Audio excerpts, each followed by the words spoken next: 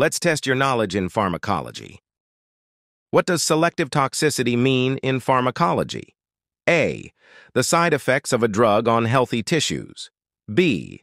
The general effectiveness of a drug across all types of cells. C. The ability of a drug to target specific cells or organisms without affecting others. D. The process of drug metabolism in the liver.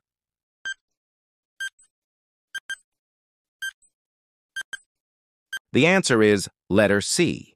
The ability of a drug to target specific cells or organisms without affecting others. Selective toxicity refers to a drug's ability to specifically target and kill harmful cells, such as bacteria or cancer cells, while minimizing damage to healthy cells. This concept is crucial in designing effective treatments, like antibiotics, that kill pathogens without harming the host's cells. By selectively targeting only the harmful organisms or cells, the drug reduces the likelihood of adverse side effects on the patient's healthy tissues.